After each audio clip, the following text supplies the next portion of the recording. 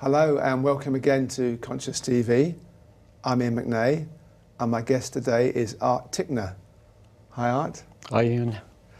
And Art has written a book called Solid Ground of Being and a lot of the interview will be based around this book and it, it's, uh, it's a very interesting book. It's not necessarily something you read and you get gripped and you can't wait to turn the next page. It's a book of contemplations and meditations and some poems but it does very much reflect art's journey, I think, and we will look at art's journey now.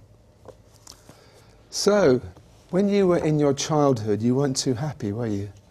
No, I, I probably in, I see that more in retrospect than I did at the time. Yeah, but my earliest memories were always sort of feeling I'd taken a wrong turn somewhere and gotten into an environment that wasn't too friendly. And how, how and how was that for you?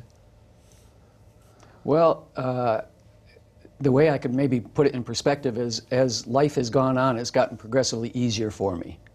And some people, when I talk to, they say, "Oh, oh, it's just the opposite with me." But for me, I was I never felt quite like I was at home.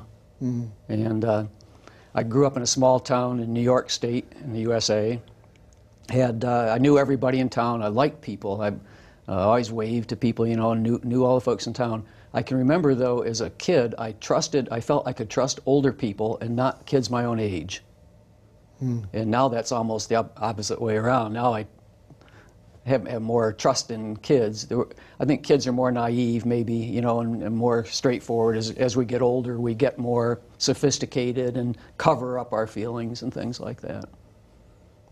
So you, you got married about 18 years old? Yes. Mm -hmm. And studied a conventional life, went to college, and you were, mm -hmm. was it computer sciences you were studying at? Well, they, they didn't really have much in the way of computer science. So I, I got married at 18. I, I found out my, I probably shouldn't say this, but I found out my girlfriend was pregnant, and I was delighted because I'd already gone to college, flunked out of the first year of college. Um, I didn't know why I was there. And so when I found that I, I, I, had a direction now, I think I was happier about it than my girlfriend was. And so when, when our first child was born, when we were both 19, after he was maybe three months old, something is like a switch flipped in my head. And I, one day when I was looking at him, I thought, my God, here is somebody I would like to see ahead of myself in the trough for life's goodies. I think those were the exact words. I think mm -hmm. they're indelibly inscribed on my mind. And uh, it, it, the flip side of that coin was I saw that I had been the most selfish person in the world before that. And I, I don't think I could have seen that without the contrast. Mm. So I think that was actually the first time I fell in love. So that really opened up something in you? I suppose it did. Yeah, I, I don't, I didn't see any great changes after that in terms of the way I acted or whatever. Mm. But I think, I think uh, the mind opens, or you could say the heart opens at various points in your life. And uh, what, what you're able to experience at that time depends almost on what you may know about yourself. Mm. And so falling in love is like a death experience in some ways. The ego was momentarily out of the spotlight. It was a huge relief, you know. And then over time, mm -hmm. you got a qualification from university. Right. I majored in math. Math. That was right. the one subject I had to study in high yeah. school. I breezed through high school. I think teachers just liked me, maybe. I don't know. And uh, when I got to college, I had no study habits, and I majored in math. But I, I think what I liked about it, the same way with Mozart, there seemed to be, it, it, was logical. And I have a logical type mentality, and there's an answer. You can work yes. the problems, get an answer, and you can see very uh, beautiful ways to get there in a sophisticated but simple way. I think that's what I liked about it. Yeah, and you, you were saying in some notes I found on the internet that basically you uh, had what you wanted in life at that level. You had a beautiful marriage, you had a child, a family, yes, yes. you had a job which was a decent job, you mm -hmm. had a mm-hmm. nice house and everything. Yeah. And yet something was gnawing inside you, wasn't yeah. it? Yeah, it, it, it, would come, it come and go. So it wasn't every day that I was consciously aware of, but seemingly, I don't know what the periodicity was, but you know, over a period of 10 years, say, it would come and go once or twice a year, and I would, I, I thought of those as identity crises, and I think in retrospect that was exactly what they were. But I would know I had no idea why I thought of them that way. So, what form did that take at the time, having an identity crisis? Well, uh, I, as you say, I felt I had everything that should have made me happy, and uh, I, I would try to scan the horizon to see if I did this, if I acquired this, if I went back and got another degree, and, and uh, all those things I'd done enough so that I could mentally fast forward and realize that won't do it, that won't do it. But I had no idea, so I was at sea. I had no idea what was missing, but I, I felt like it was a missing purpose or meaning. Mm. So you started to explore a little in reading some Zen. Mm-hmm. Very, very simple stuff. It was Alan Watts, who was probably the first American who uh, started talking about Zen so that it became popular over there. So I'd read some Alan Watts. And uh, there was something about Zen that sounded appealing. I had no idea what it was. I thought it was black robes, sitting with your legs, uh, your knee, your feet under your knees, and watching candles burn. And uh, that that was my idea of Zen. And then there was at one point where you went to the library. It was raining one afternoon, Yes. and your wife saw a flyer Yes. for a Zen discussion group. Mm-hmm. Yeah. That was at the local university, Ohio State University. And um, I thought, well, I'll go check this out. And the funny thing is, it took an entire year before I got to the first meeting of this little group. And when, when I did, I found people, maybe a dozen people sitting in a circle talking, talking. And I thought, they don't have a clue what Zen is about, so you know what I thought Zen was. But after I listened for five or ten minutes, I thought, they're talking about things I've never heard anybody talk about before. It's immensely interesting to me. Yeah.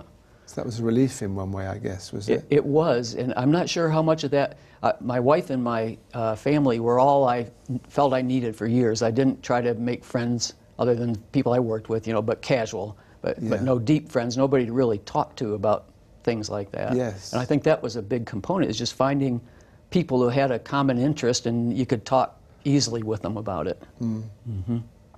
It's an interesting thing with uh, the whole concept of what friendship has become, isn't it, in the Yeah. world? And it is about people that you have common interests with, maybe sports or hobbies or just neighbours or whatever, and you have a conversation, and yet for some people there is this yearning to have a conversation at a more deep level, and that somehow it isn't always appropriate in those people Right. that you know. So it is isolating, can be isolating. Very much so. Yeah, for years and years. And I, I didn't see this until one time later. Uh, I had the feeling that I'd better wait for somebody else to make a gesture of friendship. And I didn't want to be the first one to hold my hand out and Yeah. get, get a rejection. And so I imagine that's very common, that most of us are like that to some extent. So this group that you went to, it's a TAT group, is that Well, right? uh, it, it wasn't uh, named as such. The, the name they had for it was uh, Pyramid Zen. Pyramid Zen. Pyramid Zen. Okay. And this was back in the era where pyramids had a lot of connotations, you know, like the pyramids you sit under to ripen the vegetables and all that kind of thing. Okay. But uh, this was based on um, the, the, the group had been started by some students at the university after Richard Rose, a man from West Virginia who I later became very uh, friendly with, you know, uh, after he'd given a public talk there at the university. And uh, his, his idea, the, the way he used the term pyramid, is he would talk about, oh, uh, distributions over a, large number of people. So, the, like uh, wealth, for example, there was a pyramid of wealth where most of us would be down near the bottom, and then gradually, you know, the pyramid gets uh, steeper and steeper at the top. Yes. And he was also talking about that in terms of a pyramid of spiritual levels and spiritual work. so was there a political side to his work as well? No, not at No, all. no. as an Uh, example he, he was, with wealth. He, he, one of the funny things was to watch the news with him. He'd watch the news on TV with the sound off much of the time and comment about the psychology of the newscasters, the people in the news, and things like that. It was a, a huge learning experience. So he was doing it through obs- obs- observation. yes, yeah, Interesting. yeah. So tell me a little more about Richard Rose. I hadn't Okay. actually heard about him. He, he's not very well known, obviously, Yes. is he? Yeah. Not in the UK, no. No, no, not in the U.S. either, really. No. So what's his background? Well, uh, he grew up during the Depression. He, he was from a family with four children. His father was a plumber, and uh, they, they had a lot of trouble during the Depression. And Uh, at, at one point, a couple of the kids were in an orphanage, you know, in order to try to feed the family. The, the family sold property in town, bought a farm out in the country to try to grow some vegetables and things like that. And uh, Richard was a, a fellow who had been very religious as a little child and also psychic. So, and that was something I'd never been around before. I, I thought that was all baloney. But uh, as a child, uh, he, he was, for example, I remember he said one time when he had gone to, his mother would go to Mass every morning, she was Catholic, and uh, he, he said uh, one, one morning when he went to Mass with his mother, he saw the priest and he said, he's going to die. And his mother said, She don't talk about things like that. And apparently within a week or two later, the fellow had died. Mm. And so, uh, but when he was about 12 years old, the, still during the Depression, he went into a preliminary seminary. I forget what exactly what, like a junior seminary, something like that, um, 50 miles or 100 miles away from where they lived. And he thought that was wonderful. He said, I'm going to, these people, the nuns and the brothers there, will be talking directly to God. And so he, he as a little child, he wanted to get talking directly to God, mm. very re religious. And he said it didn't take long to get disappointed. He found out they weren't, weren't talk, they didn't have a direct line to God. And he was in and out of that uh, preliminary seminary until age 17, two or three times he was back and forth. He said eventually he spent most of the time up, it was one of those huge old mansion type places. And he said, I spent time up in the attic reading the books that you weren't supposed to read. And that's how he found out about the Albigensian Crusade, for example. Yes. And the, the first book he wrote, and the one, the only one that was published when I knew him, when I first met him, was, he called it the Albigen System. And he didn't mention Albigen anywhere in the book. He mm. hoped that people would, out of curiosity, they'd do a little research for themselves and find. But, but he respected them because of their, the courage of their convictions. So, what practical work did you do in this group you were in? Well, that, that's a good that's a good question because uh, Richard Rose didn't feel there was any like cookbook approach that if you do this now and then you get to a certain point and then you do this. So it was basically um, going within. So the, the thing when I met him for the first time, if this gets too long, tell me about this. But when I met him for the first time, I didn't have a particularly good. I'd read his book and I I had two impressions. One is that he had the best sense of humor of any, and I was a reader nonstop from the time I was a kid. I thought he had the best sense of humor that I've ever come across, and, and also that he felt he knew everything. And I was firmly convinced, having a logical type mind, that you couldn't know anything for sure. So when I first met him, about maybe two or three months after I'd started going to the meetings at Ohio State, uh, when, when he came up unannounced from West Virginia, where he lived, to one of the meetings, and when I saw him, when I came in, I figured this must be Richard Rose. So I went to introduce myself. And I said, My name is Art Ticknor, and I'm in this for a selfish reason. Why are you doing it? I, I wasn't trying to be intentionally rude, but it was, obviously. But uh, I'd heard he went around the country, he'd give public talks without charging anything for them. He let people stay on his farm. He asked that they'd share the light, the electricity bill, you know, if they were burning the lights. But he, he seemed, I, I felt he had to have an ulterior motive. And so he, he, just, he, he just very calmly looked at me. He said, Well, first of all, what you're doing isn't selfish. And he said, I guess the reason I do what I'm doing is because it's an, an addiction. I can't help myself. And when he said that, it just knocked the block off my shoulder. I, I just had a feeling he's, he's down to earth. He's, you know, he's, in the, he's real. He's not trying to pull any scams or anything. But why did you feel that what you were doing was selfish? Well, uh, and uh, I think everybody I've ever talked to probably generally feels it is. You know, you realize, well, I'm not diverting this energy toward my family, toward getting ahead and everything. It's me, you know, focus on me, which uh, egotistical, right? So seeming like that, I could see that it was selfish in that mm. respect. I uh, had the kind of personality that if, if my wife was smiling and my kids were smiling, I was happy. I was an idolater. And so I could see this was diverting my attention from that. You see, um, I wrote something down here that, about Richard Rose uh, techniques, and it says Rose considered confrontation yes. was one of the cornerstones of spiritual work, basically as a group discussion in which members look for inconsistencies, rationalizations, and blind beliefs in one another. It easily devolves into ego based debate and defense without a skilled moderator, It's a piece about you here. Yes. Art's presence is a great aid in confrontation as he has the wisdom of years and the wisdom of an egoless perspective, allowing him to more easily recognize the ego's defenses. Yeah. So tell us more about that and what you Okay. learned, because this is this for me is interesting stuff. Yes. Yeah. In fact, now Rose, uh, I, I don't recall him ever sitting down and having a confrontation session with people or one-on-one. He wasn't confrontational. He, he didn't. He didn't try to. The, the thing that amazed me the first few years I knew him is I never felt he was trying to push on my mind. So he was very patient in that way. He would suggest things, but sort of he, he'd talk in a broad perspective. He wouldn't say, "Now, Iain, you should do this," or you know. Okay. And but the two the two uh, practices he recommended, but this was for people to work with each other, not with him on. One was confrontation, and so every city I lived in after I met him, I tried to find a few people to to have a confrontation group on a regular basis with, and some I was successful in. What does that mean, a confrontation group? Yeah. So, uh, for example, I've, I've been doing one in Pittsburgh, close to where I live, for 14 years, I think. And basically, what I do is uh, we'll, we only have a couple hours at the library where we meet, and then we go out for coffee afterwards. But for that couple hours, I try to structure the time so it doesn't become just chat, and uh, try to give every person a chance to talk about what's on their mind, or uh, lots of times there'll be a question or a little excerpt from Ramana Maharshi or somebody and uh, ask them for their um, reactions to that. And then after the person runs out of steam talking, then the other folks, we fire questions at them.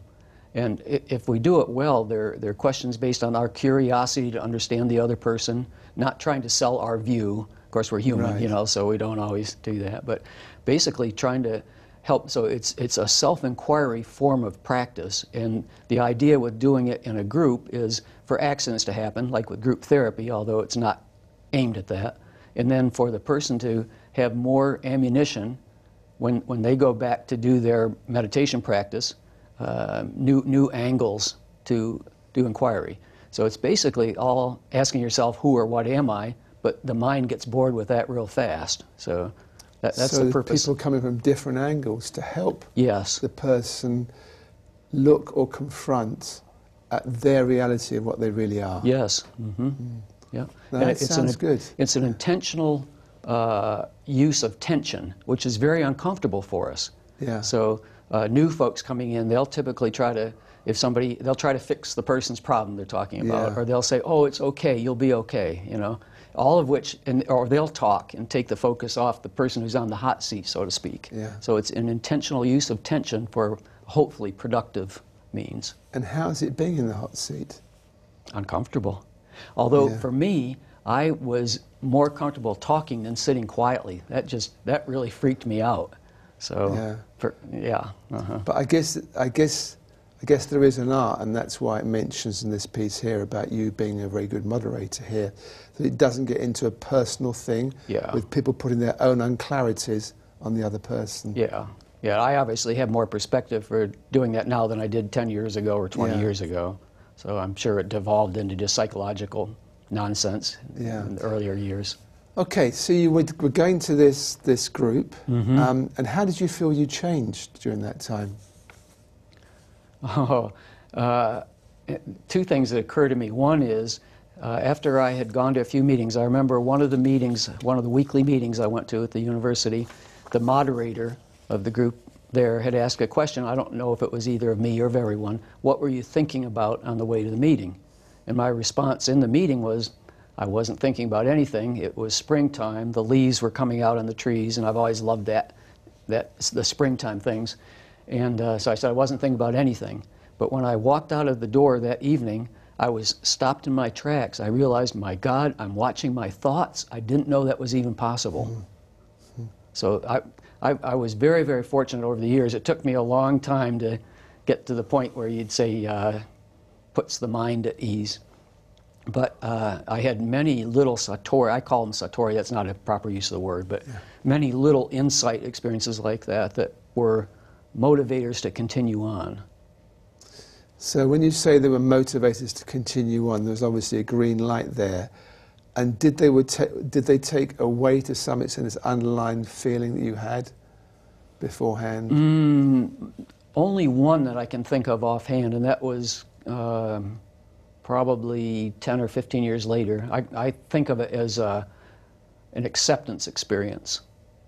And uh, I, I, could go into more detail if you're interested, but basically what happened is my, I, I was doing a solitary retreat, and uh, my, it felt like my mind went into a hyperdrive, something I wouldn't know where to press the button to make that happen.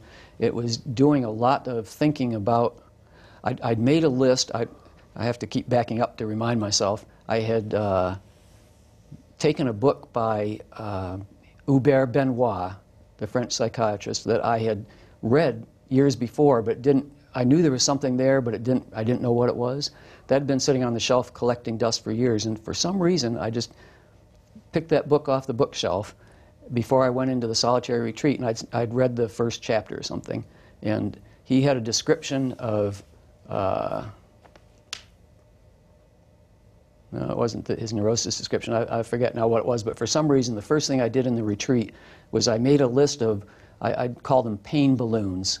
Uh, there, there, were painful memories I had, maybe half a dozen, that I seemed to carry around with me for years and years, where somebody had said something that offended me or, you know, some, like an embarrassment. Hmm. I made a list of those. And yeah, so Benoit said, uh, in terms of acceptance, that's what it was. His definition of acceptance was if you look at something from your total being and ask yourself, would I change it if I had the power to do it? He said acceptance would be answering yes to that question. And I really, my mind argued with that. I thought, oh my God, that would be putting all this stuff in concrete, you know, all, all these painful memories and things, or worse yet, in lucite where people could see them, you know. And uh, so in the solitary retreat, I just I started making. I didn't have any plans. This was all just happening. So interesting for me to watch. I made a list of maybe four or five of these pain balloons, and my mind took the first one and started going, like like a, a download on a computer, you know. And uh, after a while, the answer popped out. I, if I chose to change that, I might have made things far worse than they actually were. Mm. And so that answered it for that. I, the, my mind started doing the same with the second on the list, and for a completely different path through all that data, but came to the same conclusion. And that's all it took to convince the mind mm. that. Uh, and what happened is I felt myself going up, although I knew I was still sitting in the chair where I was sitting.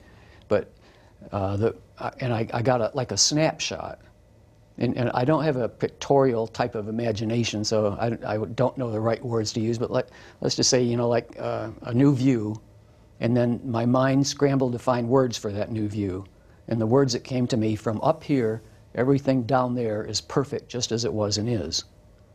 And at that yeah. time, it was a huge weight lifted off yeah. my shoulders. Yeah. yeah. Everything down there is perfect. Perfect, just, just as it was and, and as it is. I know that retreats have been very, silent retreats have been very important to you. Very much so, So yes. tell me more about this in okay. terms of how you would structure the retreats mm-hmm. and what you felt you got out of the retreats. Okay. Yeah, I started uh, doing these. This, this was one of the things that Richard Rose promoted, and I was open to trying anything he promoted. And so when I first met him, I had started a new job not long before that, and I just had two weeks of vacation per year. So selfish. I took uh, a week in the spring and a week in the fall to do go off in the woods. He had on his farm. He had some cabins and old trailers and things like that where you could get away and not be disturbed. So I spent a week in a, in a trailer that had no heat. It was in the late fall. It was cold. It was rainy. It was miserable. And I, I decided not to eat for the week. I'd never tried fasting before, but I didn't want to be bothered with food. So being the the research type mentality I have, I read some books on fasting and how you prepare for fasting and went through a, that whole rit- ritual of eliminating things over a period of time. And uh, well, a shocking thing was that I went for a whole week without eating and never felt what I thought was hunger. Mm. So what I thought was hunger was like enter- entertain me time. Mm. Yeah. And on that, I think it was that first one, or it could have been the second one. Uh, yeah, I think it was because it was rainy and cold. And one day the rain stopped, the sun came out, and I thought, oh boy, I can go out and get warmed up and dried off. I went for a walk on a country road. And as I was coming back, I saw there was a stream running by the side of the road and a big boulder in the sun. I thought, oh, I'm going to go out there and sit in the sun and really get warmed up. And then I saw a no trespassing sign. This was in West Virginia. I was living in Ohio, you know, a sophisticated state, not really, but in West Virginia, I thought, oh, this is hillbillies. And I thought, there's probably some hillbilly behind a tree waiting to pull a gun if I step on his property. I, so this was another time when I was rooted in the road. I couldn't have moved because what, what happened is I started seeing the decision-making process in very slow motion. Mm. So I was just uh, enthralled, I guess you could say, watching this argument of idiots in my head, the fears and the desires, you know, oh, I want to do this, no, but if you do, it's like a different one runs across the stage with a, with a sign, you know, that to represent what it wants and doesn't want. And uh, so what's happening in your retreats is that you're spending time looking at what your mind is doing mm-hmm. and what reality is and how that reality changes. Mm-hmm. Is that right? I think that's, that's very accurate, yes. And I, would mentioned before about the going within um, suggestion or direction. When I first met Rose, uh, he, he, rang a bell that I didn't know was in me. And mm. uh, the words that formed my mind were, This fellow is telling the truth. I've never heard it before, but something in me recognizes it. And then a couple days later, I was thinking, What was it? That, what was the important message? And it took a, a long time for it to get through to my conscious mind, and that was the answers are within. Mm. And so that was basically what I was trying to do, was to go within. But obviously everything we look at is out here, isn't it? Even though it gets closer in. Mm. Yeah, but so going within is what I was trying to do. I didn't know what that was or how to do it. And Rose didn't say, oh, if you want to go within, you take two steps to the right. So he, he basically was trying, he says, whatever's necessary. You do whatever's necessary. Mm. And if I, had, uh, if I had more character, that's what I'd tell people. But I, I try to be more helpful. but I, actually, there's very little that a person, so everything that I say is based on my own experience, and it's all opinion. So if, if somebody says, well, what's it like when you know yourself? All I can do is, uh, I'm, I'm, basically using an instrument that can't tell the truth mm. about what that is. And so I, I, find myself, especially like in the, with the folks in the Pittsburgh group, is in the coffee shop, they'll get me talking about something or other. And I think afterwards I've been fooled again. I should keep my mouth shut. because anything I say can be misleading. You know, yeah. I, I understand completely. Mm -hmm. So you actually had a period of six or seven years with quite deep depression, didn't you? Yes, yes. How, how was that? yeah, I, I, was living in uh, Miami at the time, and I had gone to the farm to do a solitary retreat. By this time, I was doing uh, month-long solitary retreats when I when I could. Lots of times that meant I, I would lose whatever job I was working on, but I didn't care. That was really my direction, and uh, I, I apparently usually I would try to talk to Richard Rose for half an hour or so after I finished a solitary retreat, but I must have had to catch a plane or some. I didn't see. Maybe he was out of town or something. So I wrote him a long letter uh, every thought I had basically during the retreats, you know, to way too much detail. And I didn't hear back from them. And I figured, oh, uh, it must have gotten lost in the mail. So this was back in word processor days, and I had a copy, digital copy, so I printed another letter out, sent it off to him, and when I didn't hear back from him, I thought, he's lost hope in me. So if he's lost hope in me, it's hopeless. Yeah, so that's what kicked it off. I saw very clearly what kicked it off. Did you really believe that? Oh my God, yeah. Yeah, there's no doubt. And for me, I'm a professional doubter, so whenever yeah. intuition hit me, it was dangerous. Okay. Yeah, because like, like the uh, light bulb that went on in my head, the, the first solitary retreat, uh, I thought that only happened in cartoons. That was the first, maybe the second time I'm conscious of intuition really hitting me directly. And mm. uh, so that's actually quite dangerous that you, yeah. your teacher, you think has lost hope in you, and then you don't necessarily haven't yet found the ground sufficiently yourself yeah. to hold that. Yeah, and the funny thing is, I I had a feeling if I asked him if that was intentional, he wouldn't necessarily have told me the truth because if he was trying to produce a shock, mm. then so I was stuck in my own corner. I I didn't have any way to confirm or uh, disprove my belief. Yeah because uh, Rose, Rose, was uh, one, one of the things that he talked about was the mind needs shocks, and you, life presents them. You know, it's not like you have to make them artificially, but so sometimes a person who's who has a, a larger perspective can produce a little artificial shock that could be helpful. Mm. So, yeah. And how did you handle that six or seven years? I, I got a lot of mileage out of it. I, I, think, I think I indulged in self pity for seven years.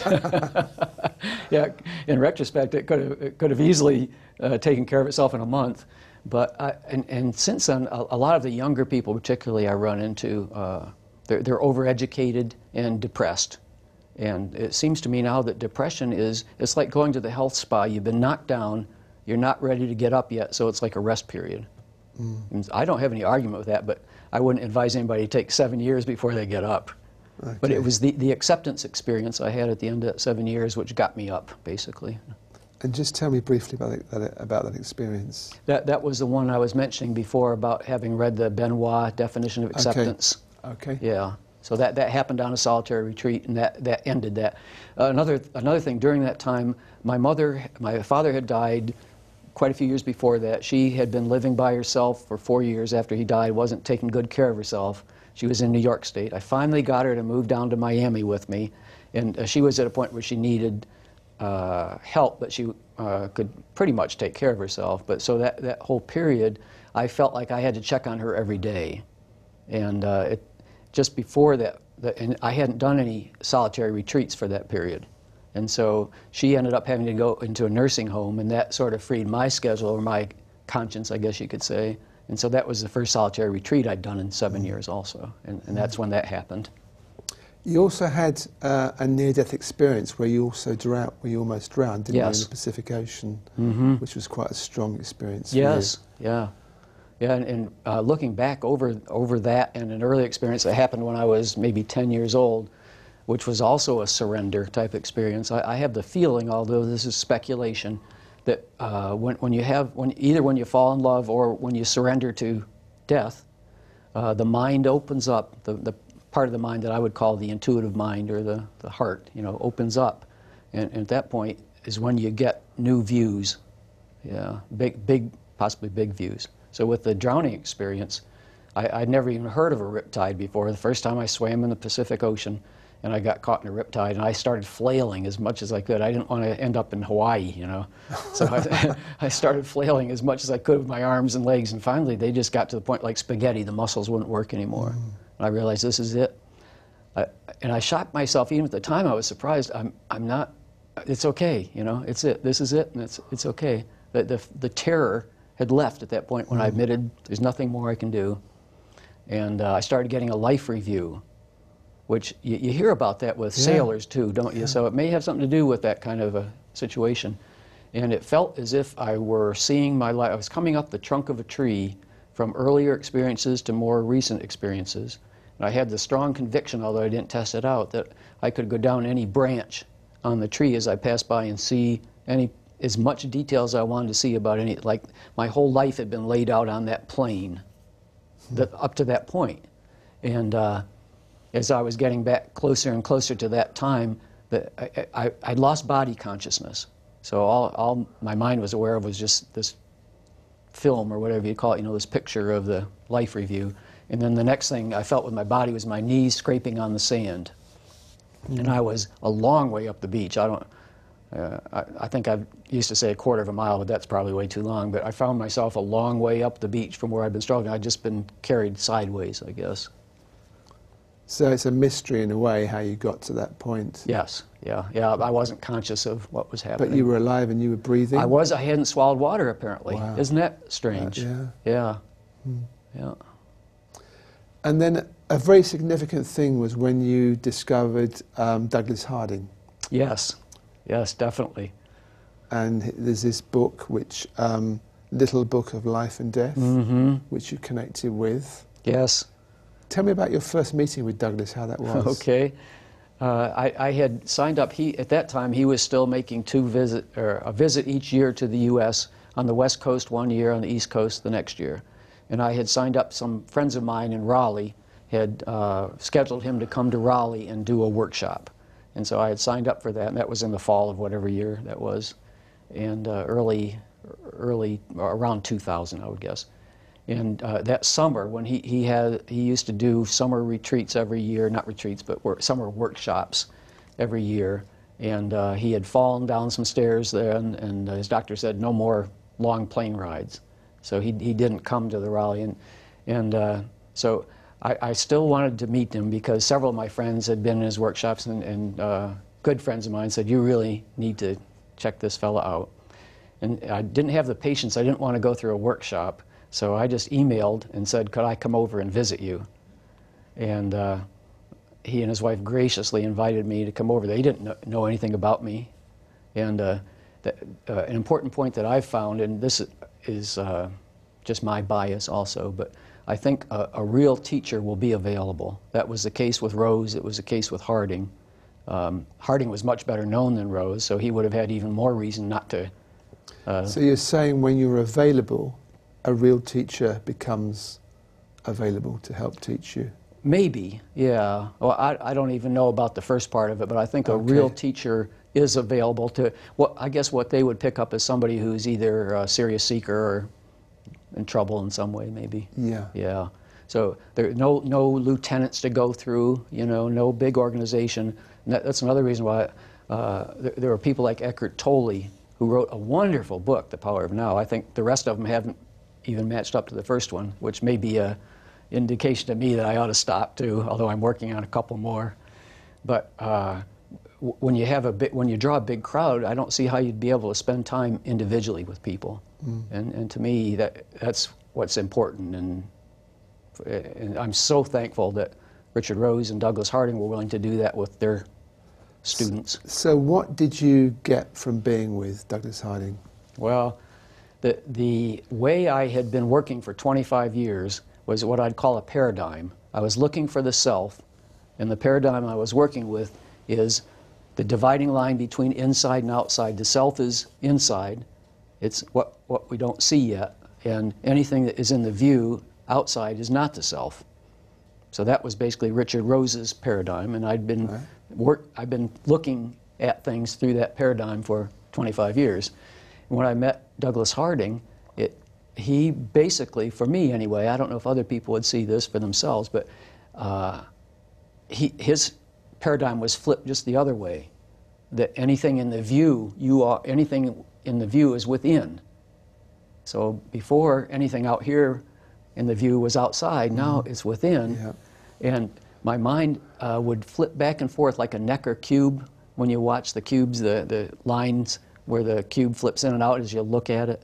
It was like that. My mind would flip back and forth between those two paradigms, and it could not pick out one that seemed truer. They both seemed equally valid. Mm. And that's a condition the mind does not like. Yeah, so to me, it provided exactly what I needed to set up an opposition for the mind to chew on, you could say, or try to try to resolve. Because mm. he had these kind of masks, didn't he, which you wore. Yes. You didn't see your face at all. Yes. Uh-huh. You just saw the outside. Well, uh, the way he would use them is a tube where two people would put their faces at opposite ends of the tube. Okay. And then he had a series of questions. His, his, uh, his experiments were somewhat based on suggestion. And he told me when we were talking one time, I, I met him twice for just a few days each time he told me he wasn't above using hypnosis to counter hypnosis. I think he was a very astute student of the mind, but also he didn't like anything about psychological self inquiry. So that was a huge difference, also. Richard Rose thought uh, self inquiry included that as a beginning level to sort of be able to get out of your own way. Right. And Harding thought that was a complete waste of time, that all you had to do was look directly within. But the, the experiments are basically what do you see when you look within? Isn't it, you know, a wide open space? Isn't mm. it looking out of one window, not two eyes? And all those things, I was suggestible enough that they made perfect sense to me. The idea about the feet being up, not down, perfect sense. I could see when, when the mind flips to that way of looking at things, it's, it's right that way. I should just mention to viewers that we do have a program about Douglas Harding's work. Um, on Conscious TV by Richard Lang, who's one of his students. So if you are interested in following this in more detail, you can find that program. Richard does a wonderful job with the workshops. Yeah. He does indeed, mm-hmm. yeah. I'm not sure I personally still quite get it. There you go. Probably more practice. You may not be sufficiently suggestible. so, you had a very significant retreat where again, you went away to a hermitage cabin in a Benedictine monastery. Yes. And something, you had a little fast for two or three days to start with, Yeah. and something really seemed to change. Just talk us through Okay. those six days, how long it was. Yeah. Um, the, the, when, when I'm fasting, the two or three days that I did, the, I didn't have too long. I think it was just a week or eight days, something like that. So I, I fasted for two or three days. And when I'm fasting, it, I'm usually too uncomfortable to, it doesn't seem like a productive time in terms of self inquiry, but it definitely shocks my mind, which is the value I see of it. And uh, so it gets me out of my comfort zone. And uh, the, after that, I spent about three days going through in, in the book that you mentioned, Harding's Little Book of Life and Death. I think it was in the prologue, it might be the introduction. There was a series that he called Test for Immortality. I may have the exact wording wrong, but that's basically what it was. And I, I visited Harding in February of that year. That was 2004. And when, when I got home, or maybe on the flight home, I don't recall exactly when, I, I felt a mood descend, descend on me. And the mood was, I want to be more serious. I want to become more serious than I'd ever been in my life before. And uh, th- this is the mind, procrastination. I, I could have become more serious right at that point, but no, I was convinced that I'd never be able to do anything unless I was away from people, you know, in solitary type uh, isolation. And uh, I had an isolation scheduled for May of that year, and I kept my mental fingers crossed that that mood of seriousness would last, which it did, fortunately. And so the, the thing that was so different about that particular solitary retreat was I had to see things for myself. I had to be able to differentiate. When I looked within, I had to be able to differentiate between what I had accepted by agreement from Richard Rose, from Ramana Maharshi, from Douglas Harding, from folks like that, versus what I really saw for myself. It had to be yours. I I had to take the responsibility, you could say. To, I think when, when different teachers uh, talk about becoming your own authority, Yes. that's when it happened for me. yes. And uh, when, I, when I got through those three days, uh, that was close to the end of my retreat. I might have had another day later, uh, but the, the night, the final night of my retreat, I remember thinking, well, it's been a wonderful week again. I don't regret it by any means, but um, I haven't found what I'm looking for. And so I'd saved going. I was. This was on Lake, or just across the road from Lake Erie, where this monastery was. And I'd saved going down to the lake to see the sunset over the water until the last night. So I went for a walk. When I got back to the cabin, the Hermitage cabin I was staying in, I sat in the chair in the living room, and I thought, my God, this is the first time I've ever sat in a chair and not done something. So where, where does that come from? I couldn't have intentionally sat there not doing anything. My mind always had to have something to be working on, a backup plan in case that didn't work out. So I, I sat there thinking, I was, I was astounded. And uh, during those last three days, there, there was like an open sesame phrase from Harding that would come to my mind. Uh, what am I looking out from? Question. And whenever that happened, my, my mind, so I didn't need to do the finger pointing experiment anymore, but I was looking back in the direction that you look out from. And uh, dur- during that final uh, sitting, what, what happened is uh, it felt as if, uh, and Richard Rose said the same thing. I don't recall asking Harding about it, but he says there's help. And, and I knew that things were lined up that there was no way I could have lined them up. And it felt as if something were holding my inner head looking back at what I was looking out from. And when, when it, uh, and, and so what I was seeing was awareness. I think before that point, we're not, we, we have a feeling that, that that's awareness back there, what we're looking out from, obviously. But uh, you don't really see, I didn't see it. So it was just a, an agreement. And something, when, when I was uh, focused, where I, I couldn't have if I'd wanted to, I don't think, turn my attention away from looking back here. Eventually, I saw that I was looking at awareness, and I saw that awareness was self aware. When that happened, uh, my mind said, wait a second, uh, I'm a separate awareness here that's looking at awareness. There, there's a lie here somewhere, either a lie that awareness is self aware or a lie that I'm an individual awareness. And so that's basically what broke the spell, the hypnosis with the mind for me. You described it in um, some notes that I have here that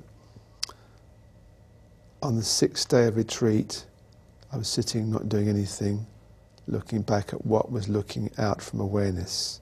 And here's the quote I'm observing it. Art Ticknor was never alive. Yeah. Something broke the identification with the observer.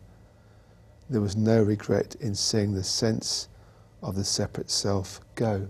Mm-hmm. Yeah, and that, that surprised me too because Richard Rose, when he had his breakthrough, he was 30 years old. It was traumatic for him. The, the, so to me, there's the, the breakthrough you can't, what, when you know yourself, it's a knowing that's outside of the mind's knowing. But you can talk about the transition leading up to it, the transition coming back from it. And his was very traumatic in both directions. And so all of his students felt, well, if it ever happened to us, they'd be carrying us off in stretchers.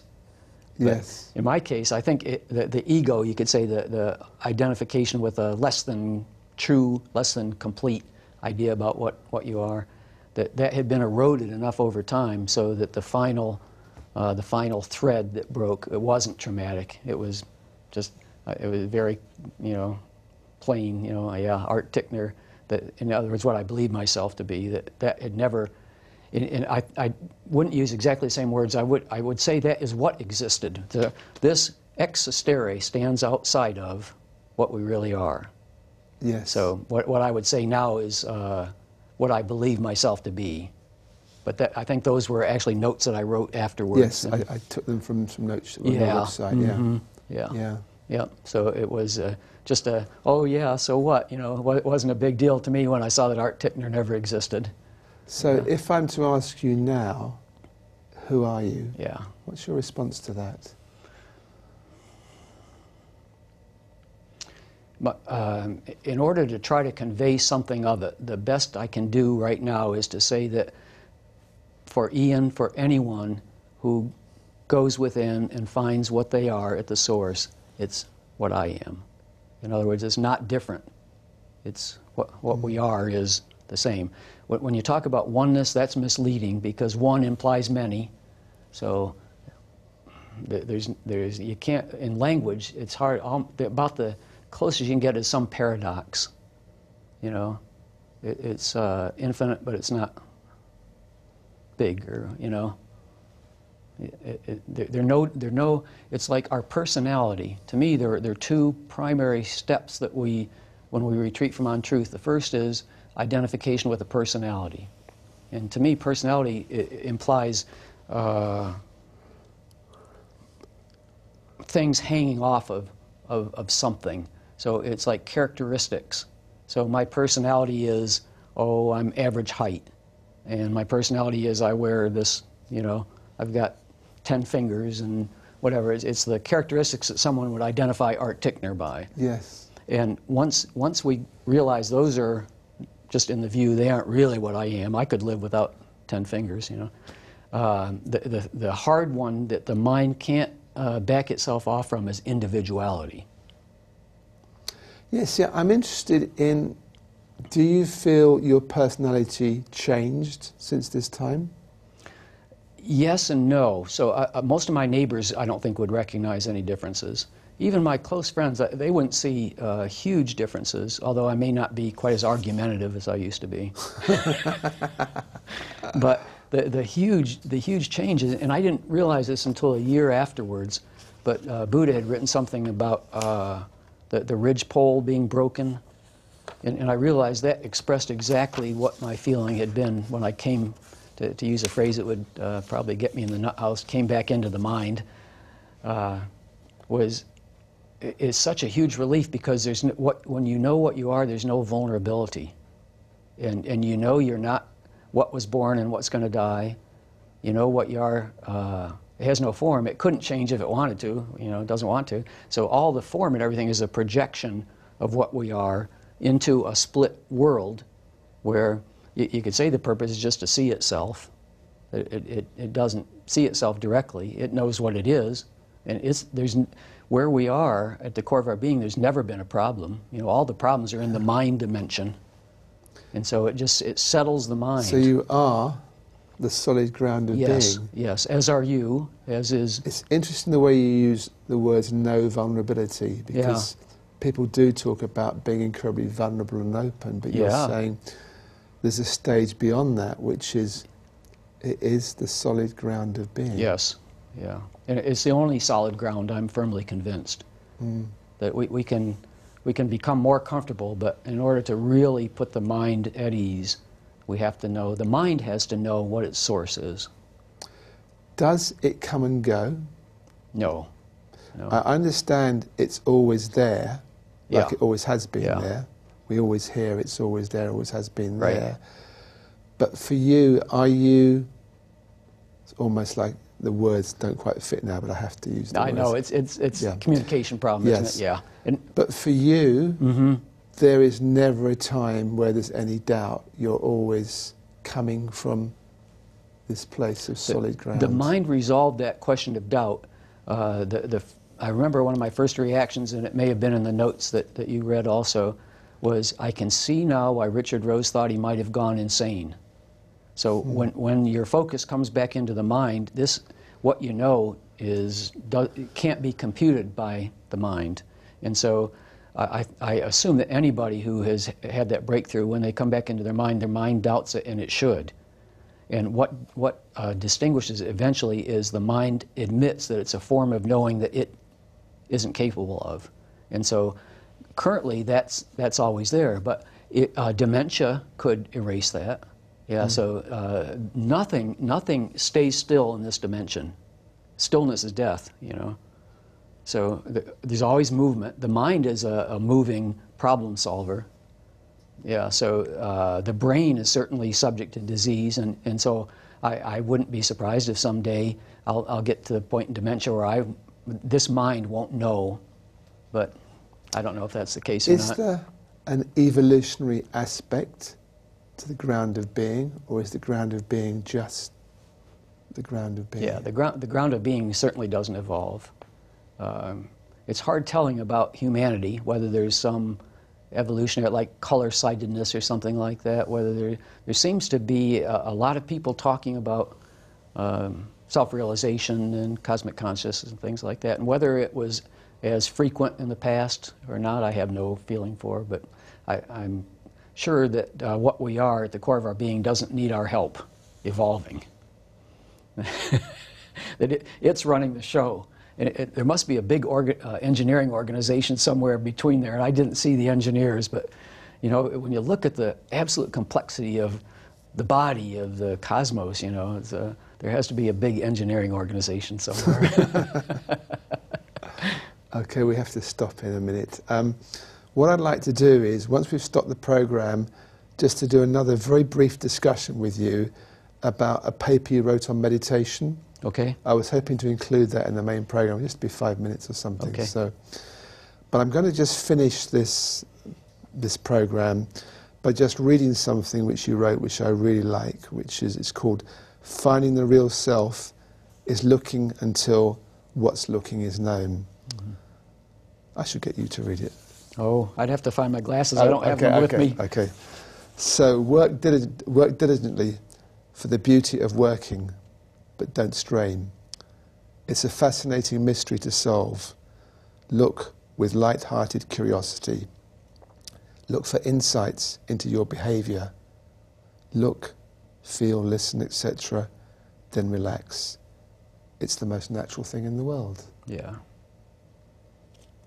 Yeah, and that certainly wasn't the way I approached it, but that's, that's my advice for somebody else is, Yeah. yeah, we, we get to the point where we don't take ourselves too seriously, but we still, at least for me, uh, I was way too serious, you could say, about, Yes. yeah, yeah. But that was your path, though, Yes, yeah, right. whatever that means. Yeah. yeah. yeah. and so my advice to somebody else is that wasn't necessary. It may be for you, you know, for a Yeah. person I'm talking to, but uh, it, I can see in retrospect it's probably not helpful.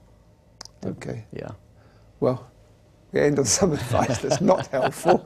we try and usually end the conscious TV with a nice summary, something positive. But yeah. uh, no, that, that, that I would say is helpful, that positive Yes. yeah, summary. Yeah. okay. Mm-hmm. So, Art, thanks very much for coming in. It's been a it's been a very interesting talk and a very moving at times talk. Um, want to show Art's book, Solid Ground of Being, and we're now actually going to do um, a small separate program which is about meditation based on a paper that Art has written about meditation, which I think will be helpful. And I hope you see me again soon on Conscious TV. Thank you.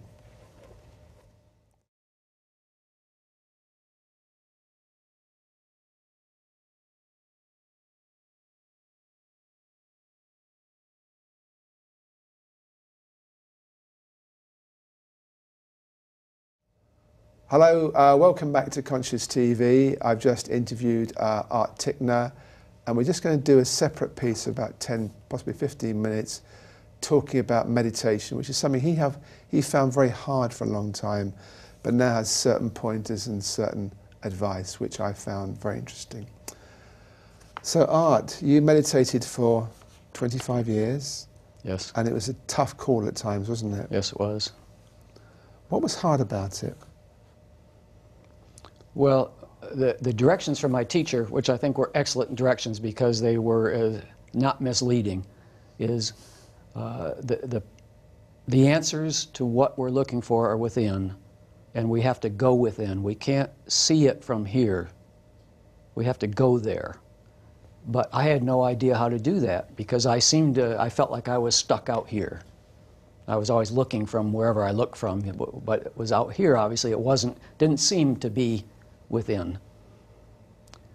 So I, for years at a time, I would religiously meditate for an hour a morning. The morning was, I, I think, if, if a person starts with a reminder to themselves in the morning of what their feeling is, of what they really want or what's missing, that's a perfect way to start every day. I don't think I did that.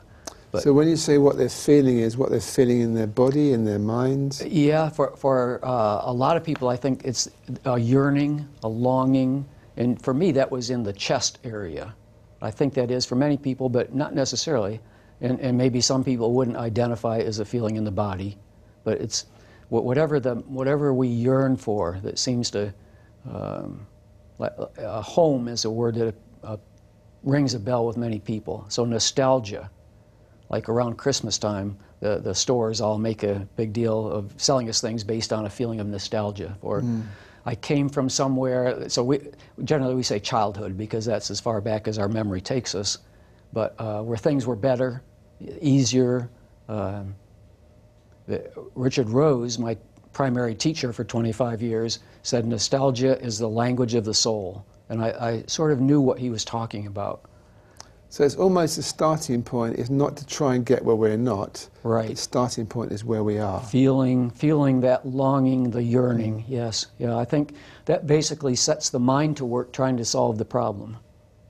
And in many ways, it's an the mind will do it automatically if we can somehow get out of the way. Yes.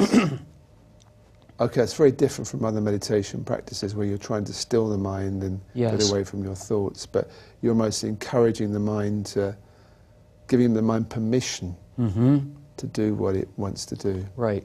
Yeah, and for, for some people, so there, there's no general solution to this. Some people need to find a quiet place in the mind, so they would need to do the mind stilling yoga or breathing or uh, you know some practice that would still the mind. But that's not going to take us anywhere. Is my my conviction. Because you talk about in your notes on meditation, which people can find on, you can find this on your, is it your own website or was I referred there? I can't remember. It may be on my website. On, if, if uh-huh. not, it's referred to. Self-discovery portal. Yeah. Says, you say meditation needs to be confrontational, yes. not restful. Yeah. It also needs to be observational. Consider what a person may say when first asked what they believe themselves to be. So, explain what you mean by meditation being confrontational. Okay. By, by that, I basically mean uh, the mind having a question. It doesn't have to be in the form of a sentence with a question mark at the end, but something that it's looking for. And to me, looking is, is a synonym for intuiting. And, and some people would say feeling, some people might even say listening. But, so the, the sensory analogies break down, but it's the, the mind recognizes a problem. And it's the same with every little problem. You know, we're hungry. So the mind picks up a feeling of hunger and it goes to work trying to satisfy that. If something else comes along in the meantime that seems to be more important, it will switch over. And to me, basically, there's this underlying problem that once we become, I don't know, you know, 10 years old or something like that, we're, we, we start becoming aware of an underlying problem that isn't solved by all the other solutions. And as we get older, so like being a teenager, a male teenager, the, the mind uh, is big, the big problem the mind intuits I need is a car so I can have dates and things like that. And I think any of those problems are basically that's the way the mind works. And when we uh, either are fortunate enough so that a period is carved out for the mind to get back at that big problem that's underlying all the time, or we carve ourselves out a period to do that, uh, preferably every day so we don't have long periods of time where we forget, the, the mind will automatically try to find what it, it, what it's looking for to solve the problem. And so when you say you also need to be observational, Yeah. you're watching this whole process go on. Yes, and what, what I'd say now is notice what we see. Yes. So it's sort of like sleepwalking. We can walk through a room in our sleep and not bump into the furniture. And that's largely how we live our lives, I think. So, yeah, I'd say the first thing is noticing what we're seeing. And you go on to talk about um, the algebra Yeah, of self-inquiry. We realize that we're looking for the self and anything in the view is not the self. right, It's obviously part of the observational side. You're looking, Right. you're trying to find something that isn't self. yes, yeah. Uh, any split we use might, one, one split may make more sense to someone than another, but seer, we, we are what sees, not what is seen. Yes. So we're looking for the seer. Yes. Yeah. I know that. Yeah. Yeah. uh-huh. So Yeah. any of those splits, I think, would would set up the, the. So this is basically what we currently observe. That there, there's an object, a glass with water in it, and that automatically throws in an implied observer, me. So there can't be an object of consciousness without a subject of consciousness. Yes. And what we're looking for to settle, uh, either we intuit this or we, we believe somebody tells us. What we're looking for to settle the mind is to see, to observe the observer, to become what we really are. But if we're observing the observer, it's still two, isn't there? And that's what, that's what happens, isn't it? That As soon as we try to observe the observer, it seems to get behind us faster than we can look Yeah. back there. I know this Yeah. place very, very well. I'm, I'm observing, and I realise there's someone looking at the observer. Yes, It's just two. right. Mm -hmm. Yeah, so that obviously doesn't solve the problem. Any advice for me there?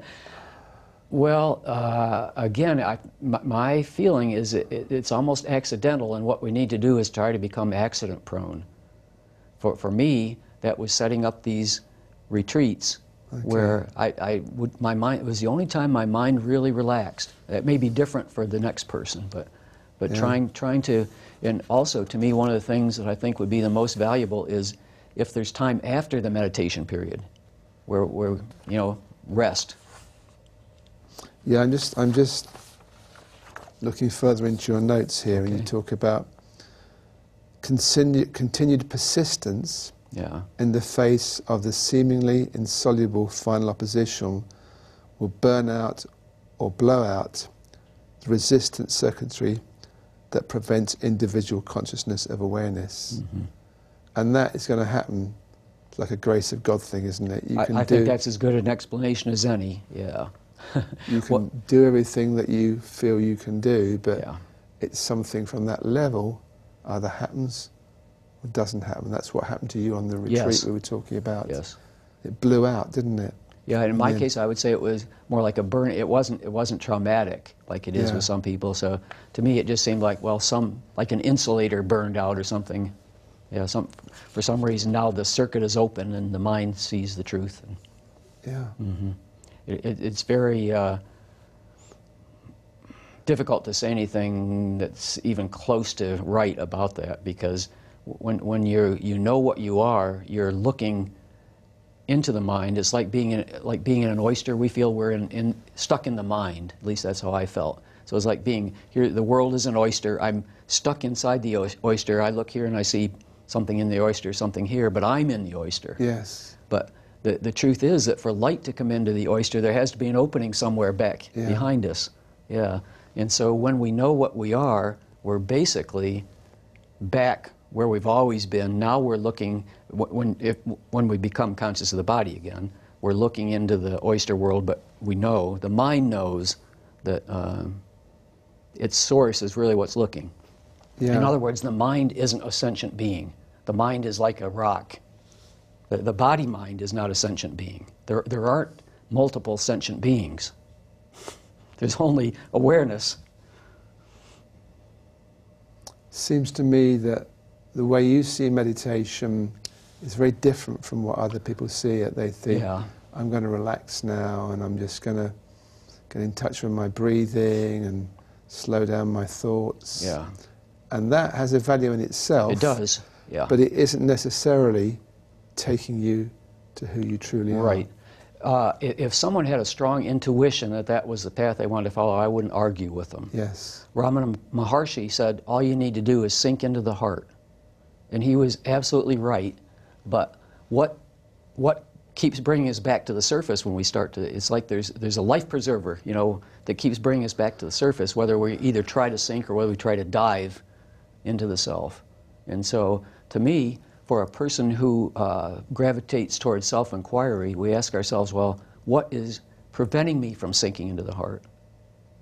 We, we go through the initial stages, I'm the doer, so I've got to dive, right? At, some point, we may realize, well, doing is all, I'm, I'm observing the mind doing, and it's not me. And so we get to the point where, we, where the sinking makes more sense to the mind.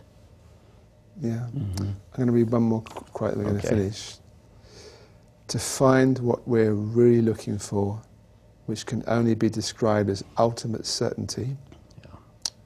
about what we are, we cannot rely on any external authority, no matter how much value we place on it. We must become our own authority. Yeah. And you're just saying this now, and you also mentioned it in the talk we had earlier. Mm-hmm. It's all about coming to be our own authority, and from that, there's Yeah. a certainty. And from that, we found the ground of being. Mm-hmm. Yeah. Yeah. Good. Well, thanks for that little extra. Okay. I'm just going to show Art's book again Solid Ground of Being, which is. Uh, it's a lovely book because there's just a. You take one page at a time and it either connects or it doesn't. If it doesn't, you move to another page. And it's the kind of thing you keep, I guess, by your bedside table and uh, contemplate on from time to time. So thank you for watching this extra and uh, hope to see you again soon. Goodbye.